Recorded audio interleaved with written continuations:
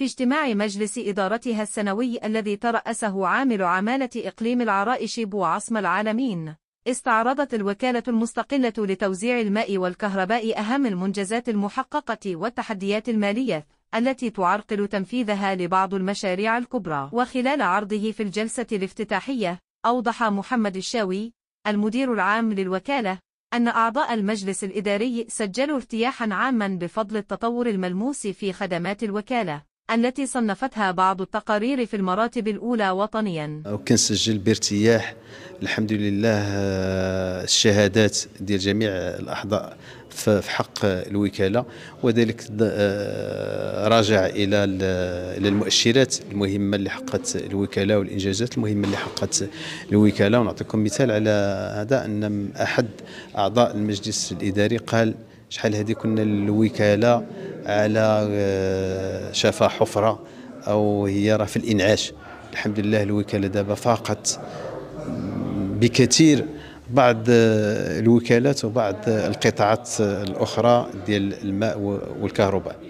آه، بقى لنا واحد آه، مشروع اللي مهم وكل شيء كينكب عليه من السيد العامل من وزارة الداخلية وزارة المالية وجميع آه، الشركاء ديالنا هو إنشاء محطة معالجة الماء المياه العادمة بإقليم العرائش وخاصة مدينة آه، العرائش والقصر الكبير. وكان الالتزام ديال الجميع على أن نخرجوا هذا آه، المشروع في أقرب وقت. ابتداء من أواخر هذه السنة تبدأ إن شاء الله الأشغال في هذا المشروع الكبير. وكنظن كنظن على أن الأمور إن شاء الله ميسرة وخاصة التضافر ديال الجميع. من جانبه كشف محمد آل حماني عضو ورئيس لجنة المراقبة المالية للوكالة عن أهمية الخدمات التي تقدمها الوكالة سواء في المدن أو القرى التابعة لها. الوكالة حاليا عرفت واحد التغير مهم من ناحية الخدماتية ديالها لا في المدن ولا في القرى اللي تبع الوكالة المستقلة لتوزيع الماء والكهرباء. الوكلاء في حاجة ماسة إلى موارد مالية من أجل إنجاز مشروع ديال المحطة المعالجة في كل العريش والقصر الكبير. وأوضح أن الوكالة بحاجة ماسة إلى موارد مالية لإنجاز مشروع محطات معالجة المياه العادمة في العرائش والقصر الكبير. وأبرز أن هذا المشروع أصبح من الأولويات الوطنية فمن غير المقبول أن تظل العرائش التي تعتبر عاصمة فلاحية للجهة وتساهم في الإنتاج الوطني من الخضار والفواكه والأسماك بلا محطات معالجة المياه. هذا هذا أصبح من أولى الأولويات وهذا من أولى البرامج الوطنية لأن كيف يعقل أن العريش عاصمة الفلاحية للجهة كتزود الجهة بالخضر والفواكه ووطنيا كذلك بالخضر والفواكه وكذلك بالسماك. العريش المؤشرات ديال التنمية دائما الاقليم تاع العريش كيتكلاص الثالث في واحد المجموعة العريش. خصها تاخذ حق.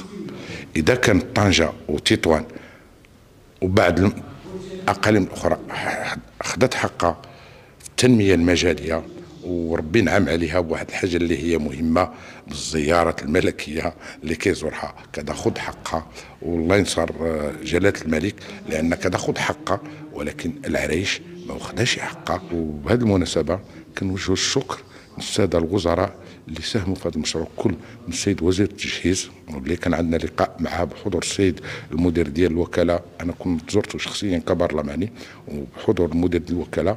والسيد المهندس التقني ديال العمل العرايش وشرحنا له فحوى المشروع ديال التزود العرايش بمحطة الماء وكذلك آه، نهيب الجهة بدورها تاهي خصها تساهم الجماعية المستقلة لتوزيع الماء والكهرباء بإقليم العرايش بتاريخ 5 محرم 1446 هجرية الموافق ل 11 يوليو 2024 يشاركني أصالة عن نفسي ونيابة عن كافة أعضاء المجلس الإداري. أن أرفع إلى المقام العالي بالله أسماء عبارة الولاء والإخلاص والوفاء وأزكى آيات الطاعة. ملتزمين بالتجمد الكامل وراء خطوات جلالتكم. كما أعبر لجلالتكم عن مباركتنا لكافة الخطوات الحكيمة والسديدة التي تتخذونها للذب عن سيادة الوطن. وتثمين أمن واستقرار هذا البلد وصون وحدته وإحباط المناورات اليائسة التي يديرها أعضاء وحدتنا الترابية للمس بأراضينا. ونؤكد أننا جنودا مجندين وراء جلالتكم للدفاع عن وطننا الحبيب ونصرة الحق. أبقاكم الله يا مولاي دخلا وملاذا لهذه الأمة. وحفظكم بما حفظ به الذكر الحكيم. وسدد خطاكم وحقق مسعاكم. وأقر عينكم بولي عهدكم المحبوب صاحب السمو الملكي الأمير مولي الحسن. وشد أزركم بشقيقكم صاحب السمو الملكي الأمير جليل مولاي رشيد. وسائر أفراد الأسرة الملكية الشريفة إنه سميع مجيب الدعوات. والسلام على المقام العالي بالله ورحمته تعالى وبركاته.